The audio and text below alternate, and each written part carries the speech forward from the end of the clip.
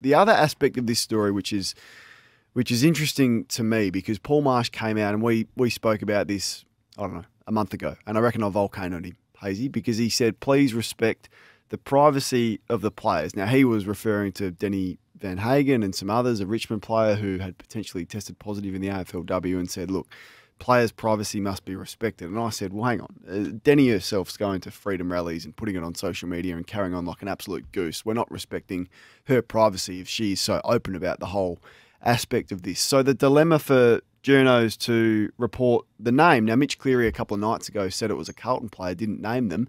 Sam McClure did last night, and this is why. Now, I want to get something uh, off my chest here, Jimmy, before we get into it. Yep, go ahead. Because a lot of people aren't going to be happy that we here on Sportsday have named Liam Jones.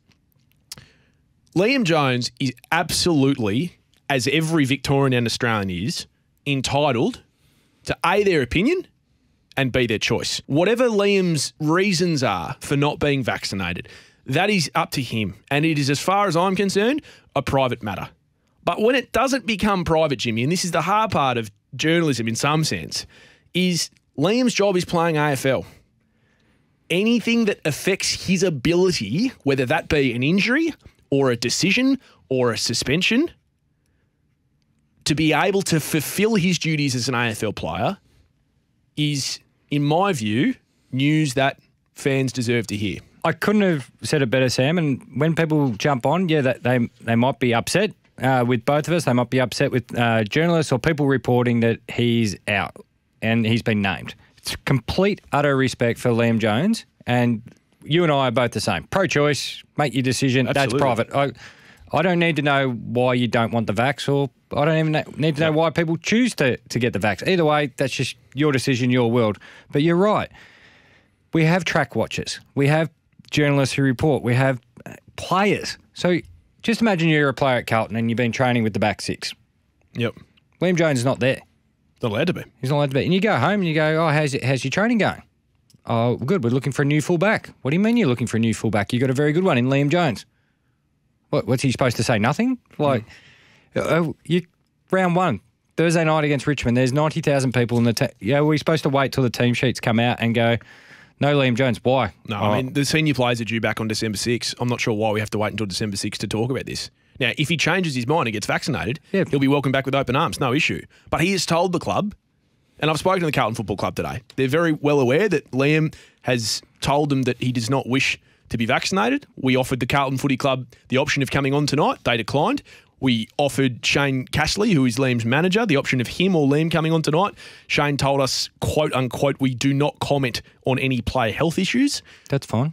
and- that's an, an interesting point, which we could discuss at another time.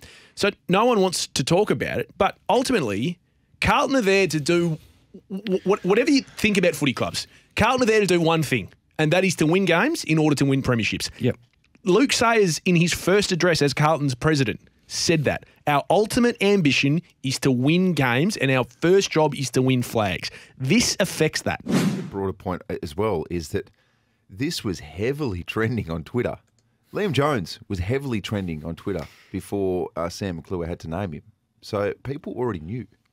Correct. It was, it was inevitable that it would come out in a public space. So it's it don't even bother trying to go after Sam McClure on that one. No, there, there's no there's no leg to stand on there. I mean, the the public are out to. I mean, there's a there's a gripe against journalists. I, I think there's a uh, perception that they're you know grubby and, and hiding in, in bins and trying to get stories and doorstop people. Uh, this story is absolutely in the public interest of a football supporter and a paid up Carlton member. And the other thing this has done is it has removed the doubt over any other Carlton player.